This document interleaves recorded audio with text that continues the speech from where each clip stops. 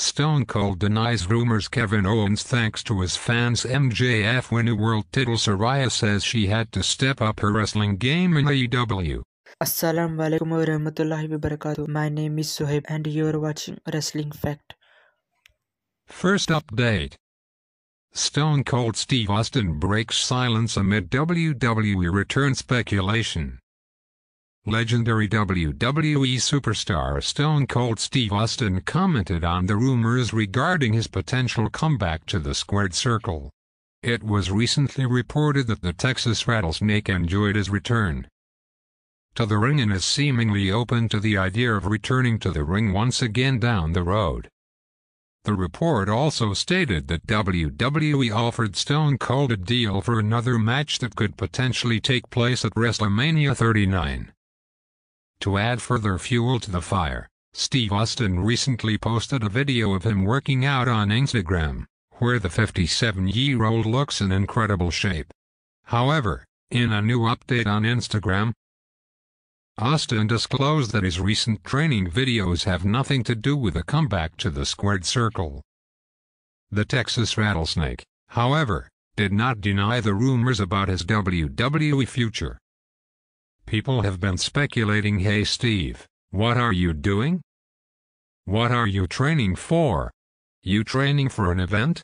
You can speculate what you want, I just looked in the mirror and realized that I looked like SHT, so I called my diet coach up. As far as body weight goes, probably sub 232 the leanest I've been in SHT, forever. Anyway that's the bottom line. I just got tired of. I looked in the mirror and I looked like SHT. Got tired of looking like SHT, so I'm taking action to do something about it, said Steve Austin. Do you want to see Stone Cold Steve Austin compete at WrestleMania 39? Sounds off in the comments section below. Second update Kevin Owens thanks fans after his return on last night's WWE SmackDown. WWE superstar and former Universal Champion Kevin Owens made his return to television last night after an extended absence. With many fearing that the Prize fighter would be out of action for some time after reports of him suffering an injury at a recent house show surfaced. Fortunately, that wasn't the case.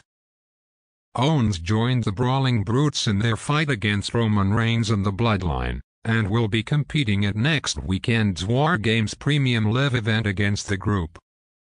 Today, Owens has taken to Twitter to thank the fans for their support, adding that he will always give them everything he has inside the squared circle. His full tweet reads, Just wanted to say thank you. Seeing the response to my return and how much you guys missed me being on your TV screen is truly humbling. You all made last night a career highlight for me and in return, I promise to always give you guys everything I have. Every single time. Third update MJF wins the AEW World title during Full Gear. MJF failed to beat Jon Moxley for the AEW World Championship at All Out on September 5, 2022. Tonight, he was finally able to pin Mox for the richest prize in the promotion, with a little assistance from one of wrestling's most revered figures. MJF squared off against Jon Moxley for the AEW World Championship in the main event of Full Gear tonight. The Devil himself entered the arena to a huge ovation from the crowd. The closing moments of the match saw MJF and Mox knock the referee. Another referee arrived and he too got knocked out of action. MJF resisted attacking Mox with his signature ring.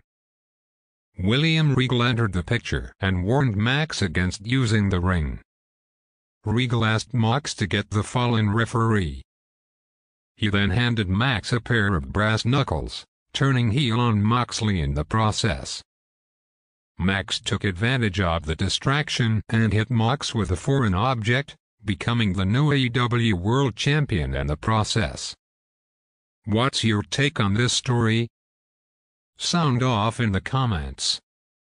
Fourth update Saraya says she had to step up her wrestling game in AEW. Saraya signed with AEW because she wanted to get back inside the ring. The former WWE star wrestled her return match against Dr. Britt Baker at the Full Gear pay-per-view event last night. Saraya defeated the DMD after several minutes of action. The match contained some pretty scary-looking spots as well. Saraya revealed during the post-Full Gear press conference that she had to step up her wrestling game in AEW, in AEW I felt like I had to step up my wrestling game. Wrestling everywhere are fantastic, but I feel that the caliber of AEW women's wrestling is so high, I was like, man we have Toni Storm and Jamie Hayter. They are just so good. Saraya is still working out the rustiness. It remains to be seen if Saraya will get her next challenge next week on Dynamite. Thanks for watching see you guys in my next video.